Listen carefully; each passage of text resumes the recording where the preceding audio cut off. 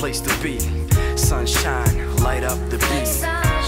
Olin koulussa viimeksi yli vuosi sitten, niin mulla oli vaan semmoista hillumista, eikä ollut niinku mitään tekemistä, niin se tietenkin teki kaikkea tyhmää. Oikeesti mä sain mun elämän raiteilleen täällä, kun mä tulin tänne. Tiesin, että nyt on jotain niin tulevaisuutta varten, eikä voi pilata sitä millään. The atmosphere now that the cold won't interfere like... Mä haaveilen siitä, että mä saisin räpätä työkseni. Ne ymmärtäis, että mistä mä puhun ja tajuis, että siinä on jotain vikana, että kun mun pitää kertoa semmoisista asioista. Kun mä oon ollut tää Basecampissa, niin mä sanon jo, että mulla on monta haavet jo toteutunut. Uh, sunshine, so beautiful when it comes up sometimes. Rupesi tulee keikkoja. Mä otin ihan sillä että wow, että mikä tää juttu on. Että sillä vielä vähän aikaa sitten hengattiin tuolla Ostarialla ihan turhaan.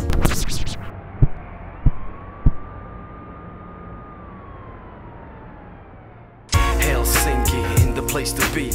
Ihan on nyt semmoinen väylä, että miten mä oon tulossa suurille lauteille.